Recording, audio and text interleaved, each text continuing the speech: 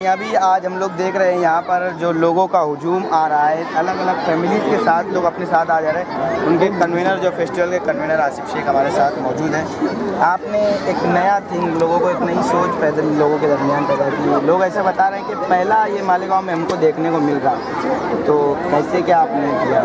इससे क्या फ़ायदा मिलेगा मालेगाँव शहर की जो पहचान पूरे देश भर के अंदर है। वो एक सेंसिटिव शहर की थी। और मालेगांव शहर की तरक्की नहीं होने की जो वजह है, मैं समझता हूँ कि जो बड़े बड़े ऑफिसर को अलग अलग डिपार्टमेंट के अंदर आना चाहिए, वो ये बोलकर नहीं आते कि मालेगांव शहर बहुत सेंसिटिव शहर और जो ऑफिसर मालेगांव आ गया तो उसको मालेगांव ही अच्छा लगता है, मुल्क के अंदर कोई भी शहर उसको अच्छा नहीं लगता। इतना मोहब्बत करने वाले शहर में मालेगांव शहर है। यहाँ की आवाम है। मालेगांव शहर की एक अलग पहचान है। मालेगांव शहर पावर लूम सिटी है। पावर लूम के ऊपर हमारे भाई बुनकर, मजदूर और पूरा शहर मिलकर मालेगांव शहर को एक अच्छा कपड़ा तैयार करके मुल्कों को नहीं, बल्कि मुल्कों के बाहर भी देता है।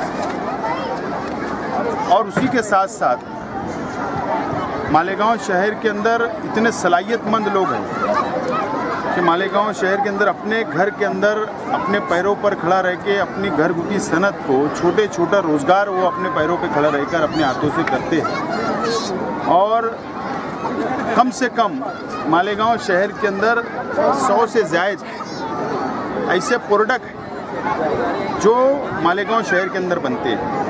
लेकिन मालेगांव शहर के आवाम को भी नहीं पता था कि मालेगांव शहर के अंदर इतने प्रोडक्ट है आपने एक नया प्लेटफॉर्म दिया उन लोगों और इसीलिए कि मालेगांव शहर के आवाम यहाँ पर आए और ये एग्जीबिशन इसलिए लगाया गया कि आवाम इससे तारुफ हो जाए। और ये दुकानदारों का ये प्रोडक्ट का तारुफ मुल्क की आवाम तक पहुँचे ताकि हमारे शहर का रोज़गार बढ़े। जब इनका रोज़गार बढ़ेगा दुकानदारों का तो ज़ाहिर सी बात है लेबर उनको मिलेंगे। लेबर मालेगांव के मिलेंगे, उनको रोज़गार मिलेगा, उनकी फैमिली को रोज़गार मिलेगा। तो यही हमारा पूरा इसके पीछे की एक सोच है कि मालेगांव शहर को एक बिज़नेस लेवल के ऊपर हम लोगों को एक फ्लैश करना है, पहचान बनाना है। इसीलिए असल में मेड इन मालेगांव फेस्टिवल रखा गया। और इसी के साथ साथ आज के ज़माने में, आज के दौर में मुल्क को नहीं, बल्कि पूरी दुनिया के अंदर एक कंपटीशन का दौर है। डिजिटल का दौर है। और मालेगांव शहर के अंदर जो तालीम, हमारे जो तलबा और तालबात हैं, यानी जो हमारे स्टूडेंट्स हैं, उनकी रहनुमाई किस तरीके से हम लोग कर सकते हैं? क्योंकि अगर देश बढ़ रहा है तो हमारे शहर के, हमारे कौम के नौजवानों को भी देश के साथ में दौड़ना पड़ेगा। और इसीलिए इसके साथ साथ में हम लोगों ने रोज़ाना तालीमी सेमिनार रखा है। तालीमी कॉन्फ्रेंस रखी है। रोज़ाना चल रही है।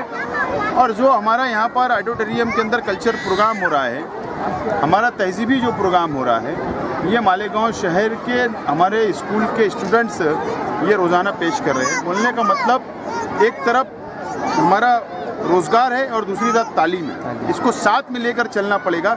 जब हमारे नौजवान भी तरक्की करेंगे शहर भी तरक्की करेगा और मैं समझता हूँ उसके बाद ही देश तरक्की करेगा। यही हमारा मकसद है।